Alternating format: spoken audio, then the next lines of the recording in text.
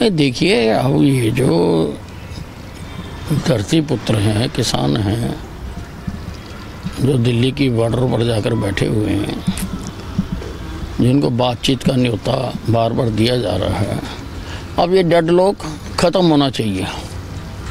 जल्दी वार्ता होनी चाहिए। इसमें किसी भी प्रकार का प्रेस्टीज का इशू नहीं बनाना चाहिए। और बातचीत होनी चाहिए। धरती पुत्र खेत में काम करता हुआ ही अच्छा लगता है। ये तो पहले कहते थे, किया ही नहीं। अब कहते हैं, मोबाइल पे नहीं किया। फिर कहेंगे, मुझे आके नहीं जगाया। फिर कहेंगे, मुझे आके नहीं बताया। ये तो नुक्ते निकालने वाली बात है। फ़ोन किया। क्या आपका प्रशासन इतना नखिद है कि एक मुख्यमंत्री का फ़ोन आता है, चाहे किसी भी फ़ोन पर आता है, और वो आपको बताता नहीं है। आपकी बात नहीं कराता। इसका मतलब ये है कि आपका प्रशासन पर से नियंत्रण पूरी तरह से ख़त्म हो चुका है। नहीं, कोई लड़ाई नहीं है।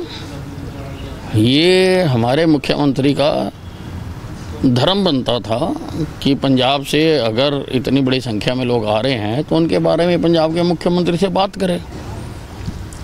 लॉ एंड ऑर्डर स्थिति को मद्देनज़र रखते हुए वो बात करना ज़रूरी होता है।